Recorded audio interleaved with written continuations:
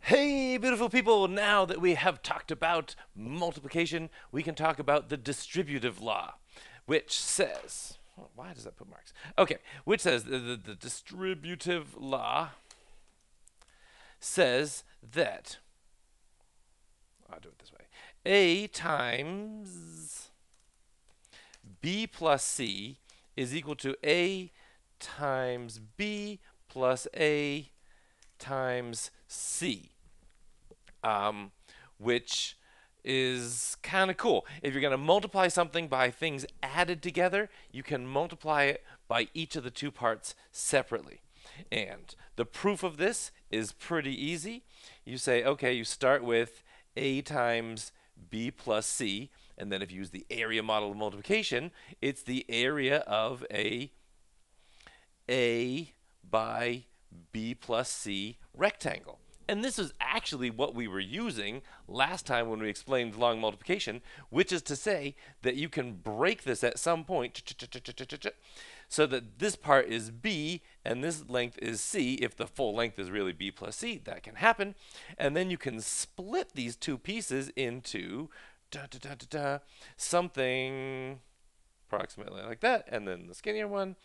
And this is a C by A, and this is an A by B. You add those together, the combined area, and this is A times B plus A times C, again using the area model of multiplication. A rectangle with those dimensions has that thing, and therefore, da, da, da, this is equal to these two combined which is all we're saying today.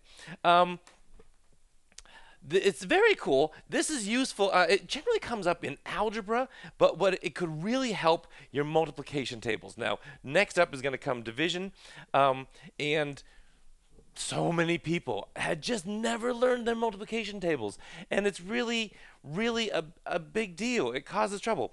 Um, you need to learn the multiplication tables. The cool thing is, um, most of them are easy. Uh, there's everything's copied. You know, three times eight is the same as eight times three, and um, what I was going to say. Uh, and the few that you need to learn, you can just learn a few things and then get past it. And you'll feel good about yourself when you know it. And so much of math will become easier.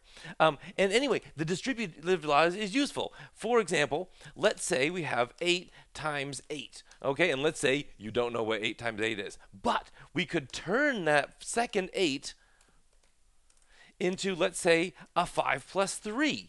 And the distributive law says this is 8 times 5 plus 8 times 3. Now, maybe you don't know 8 times 8, but you know your 5s. You know 8 times 5 is 40, and maybe you know things multiplied by 1 times 2 times 3. 8 times 3 is 24, and then together you get 64. So it's an indirect way. The, the, the distributive law, so if you just know everything up to five, you could use this to learn just about anything else.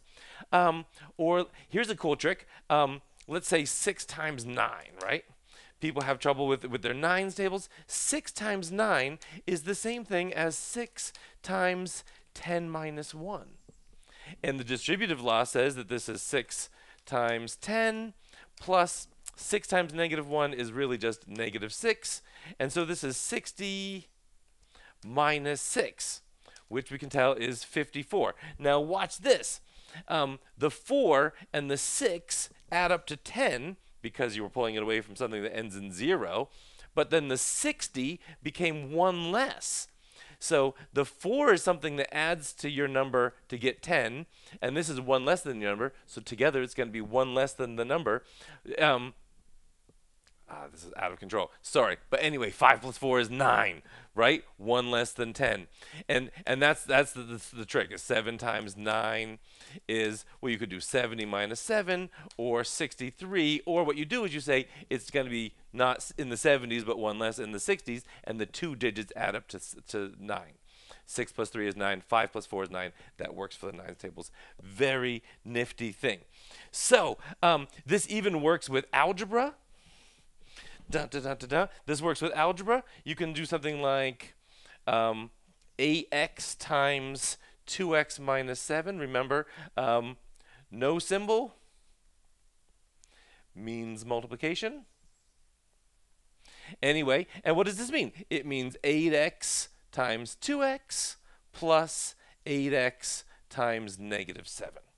And 8x times 2x is 16x squared, and 8 times negative 7 is negative 56x. That's another one of the tricky ones to remember.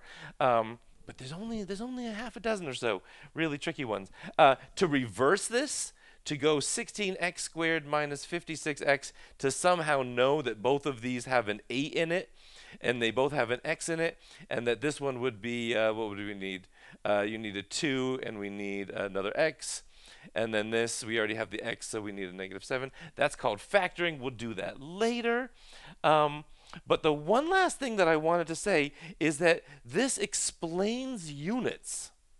Ah, explains the law of units, which is why nobody else calls it the law of units, because everybody else calls it the distributive law, which is to say, three cats plus five cats. I told you, again, no symbol.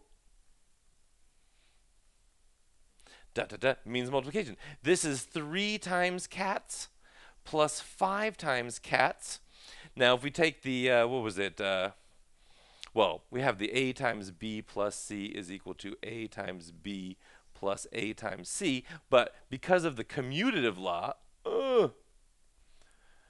commutative law, we have AB is equal to BA. We could switch this around. So basically what we have here is like B plus C times A is going to be B times B times A plus C times A. But anyway, what it does is it means you can go 3 plus 5 times cats, which is 8 cats. Now, obviously, you don't have to do it out that way. This is just um, explaining why the law of units. When you have two things with the same units, it's like you can factor out that unit. Uh, and if they were cats and donuts, you just couldn't do that. You couldn't combine the three and the five in any sensible way.